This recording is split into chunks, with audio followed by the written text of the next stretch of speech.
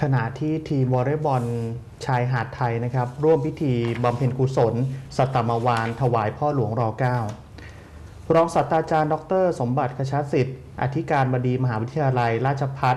ขออภัยครับ ราชพัฒไลอลงกรณ์นะครับ และทีมวอลเลย์บอลชายหาดทีมชาติไทยนำโดยวรพัฒน์สอนระดารง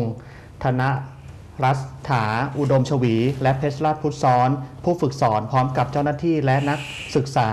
ร่วมพิธีบำเพ็ญกุศล สัตตมวาน ถวายเป็นพระราชกุศล พระบาทสมเด็จพระปรมินทรมหา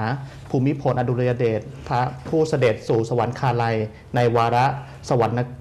สวรรคตครบ 7 วันนะครับ ขึ้นที่มหาวิทยาลัย ราชพัฒ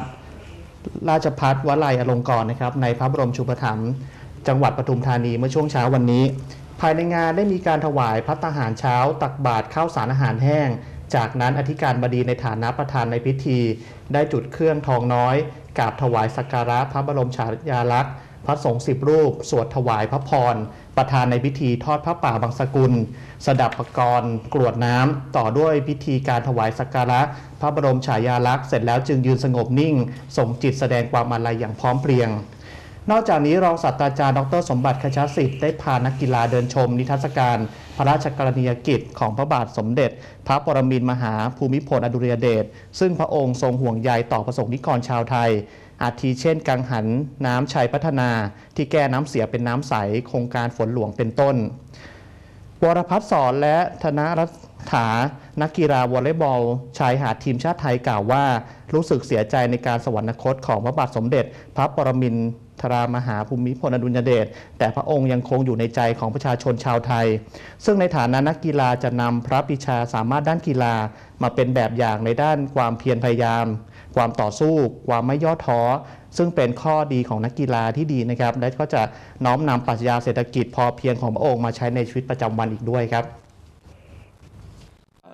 รู้สึกเสียใจอยู่นะคะ ที่พระองค์ได้ทรงสวรรค์พระองค์ท่านได้สวรรคตไปนะคะ แต่ เอก็ยังมีกำลังใจจากพระองค์ท่านที่พระองค์ท่านได้ทำเป็นแบบอย่างให้ประชาชนชาวไทย หนึ่งในนั้นก็คือเอค่ะหนึ่งก็คือในด้านของด้านกีฬานะคะ เพราะว่าเอเป็นนักกีฬาทีมชาติไทยเอก็เอาแบบอย่างจากพระองค์ท่านก็คือ พระองค์ท่านได้มีความเพียรพยายาม มีความต่อสู้ มีความไม่ย่อท้อนี่คือเป็นหนึ่งข้อของนักกีฬาที่จะนำมาใช้จากพระองค์ท่านค่ะแล้วก็ในชีวิตประจำวันของเอก็คือ นำปรัชญาเศรษฐกิจพอเพียงของพระองค์ท่านมาใช้ในชีวิตประจำวันค่ะ ค่ะวันนี้นะคะเราก็มีการร่วมไว้อะไรยังไงก็คือ คือทำบุญนะคะพิธีตักบาตรคือบำเพ็ญกุศลให้พระองค์ท่าน แล้วก็วันนี้ก็มาเอ่อมีการสวดถวายนะคะ เป็นพระราชกุศลให้พระองค์ท่านวันนี้ค่ะ ด้านกระทรวงการท่องเที่ยวแห่งประเทศไทยค่ะ ก็เตรียมผลักดันงบ